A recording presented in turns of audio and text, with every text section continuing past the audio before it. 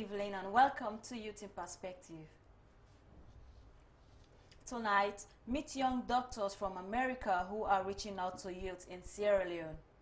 Youth voice out their views on employment in this country and SLOIC takes another giant step for young people. Stay tuned. This is Youth in Perspective. West Africa Medical Missions is an organization of healthcare-minded individuals focused on aiding in the development of healthcare system in West Africa. Now in the studio, Harold Williams talks with them.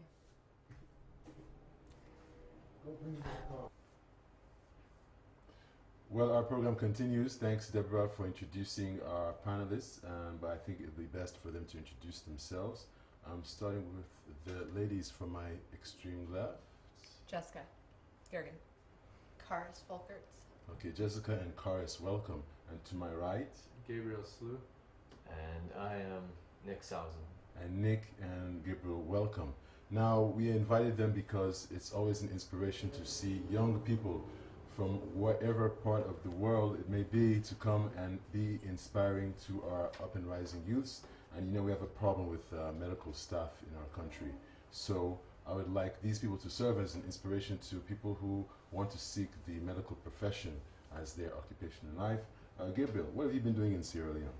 Um, basically, what we've been doing is working with secondary school students um, that are mostly based here in Freetown. We have about eight schools that we invited, and we invited 10 students from each school are pursuing science or healthcare, nursing, just anything to do with the medical field, to um, take in take part in a program we're offering at Prince of Wales School.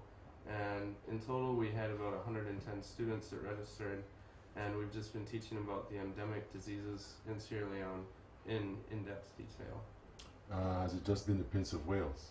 Um, that's Prince of Wales is a school that we're using as our base, but we've invited um, FSSG, Annie Walsh, St. Joseph, St. Edwards, um, Prince Albert Academy, many schools throughout Freetown. So Okay, yeah. all right.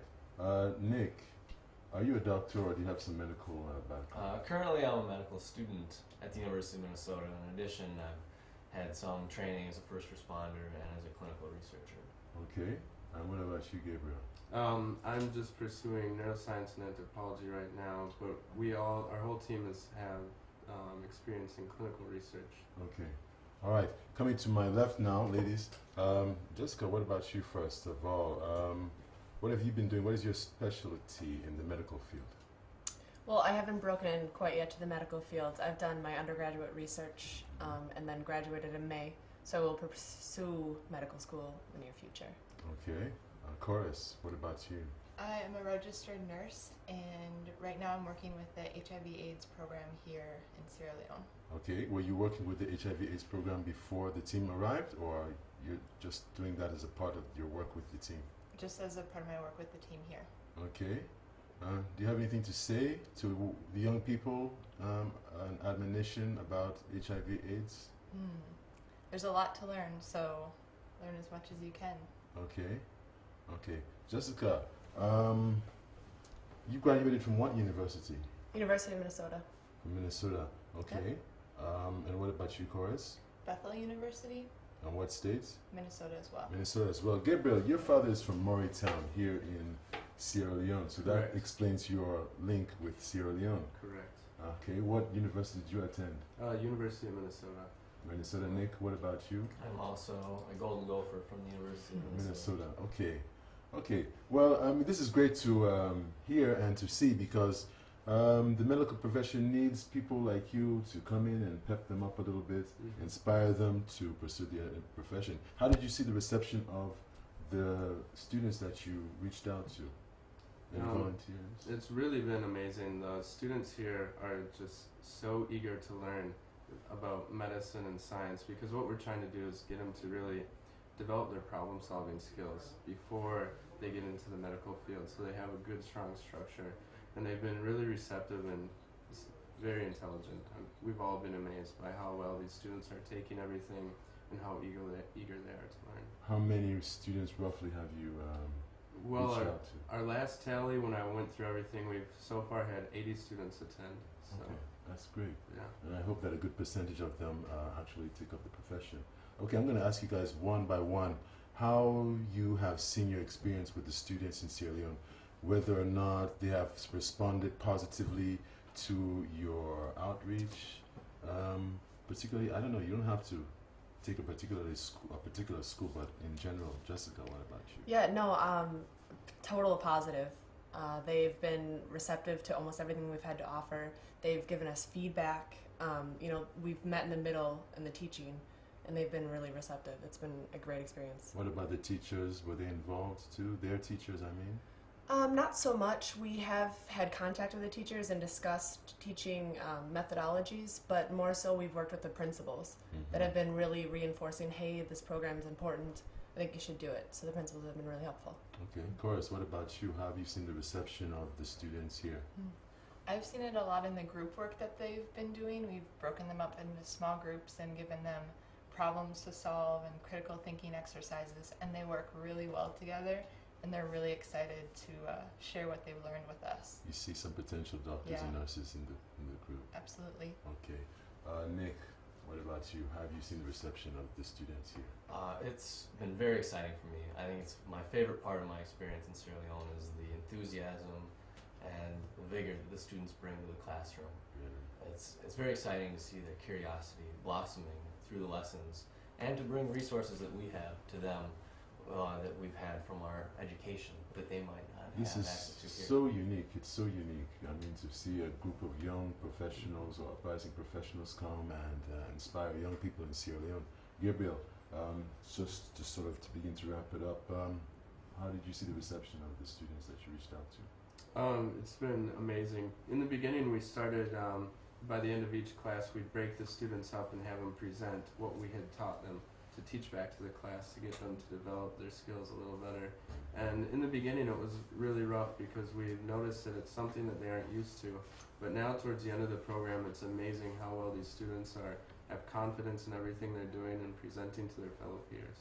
Uh, any candidate for the top school, the most uh, vibrant school?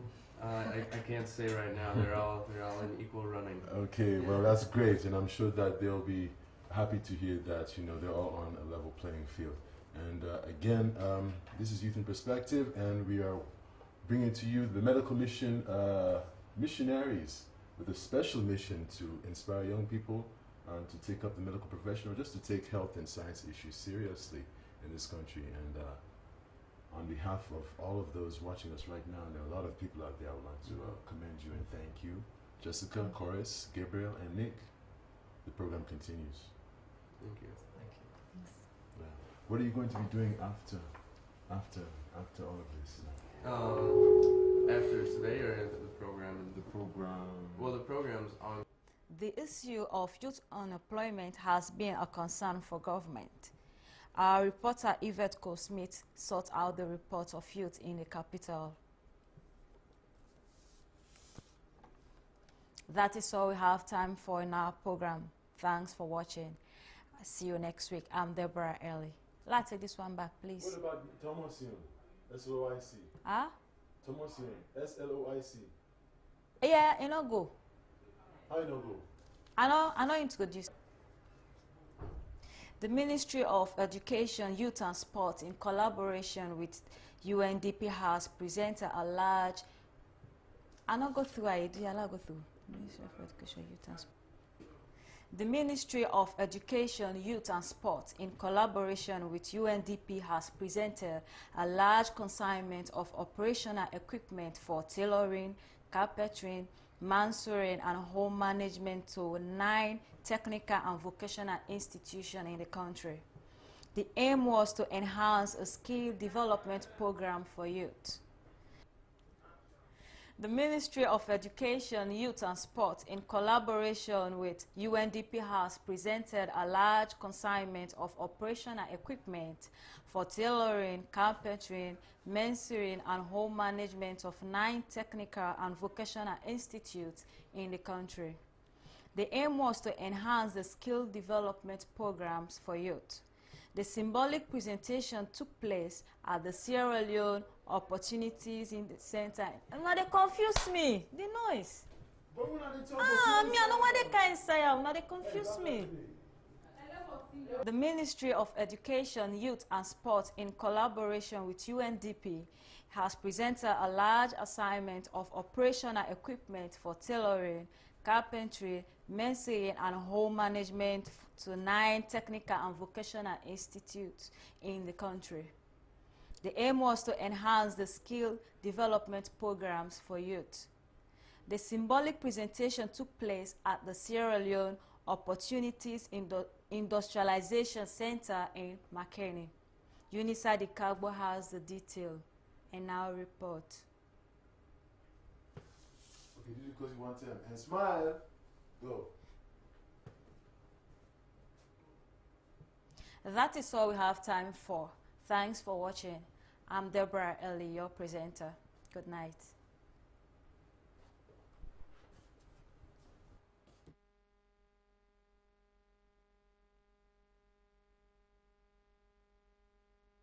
Infrastructural development in Sierra Leone. 700 police constables, 300 sergeants promoted. These are the stories you can see in the inside pages of the Awoko newspaper. At the back page of the Awoko newspaper, you can see interesting sports stories, especially about the ongoing World Cup that is taking place in South Africa. Well, from the uh, Awoko, I now to the Premier News, and it says eight-year-old girl escapes circumcision. Here you can see the picture of uh, the Minister of Social Welfare, Dr. Kabia, and health contractors to be blacklisted.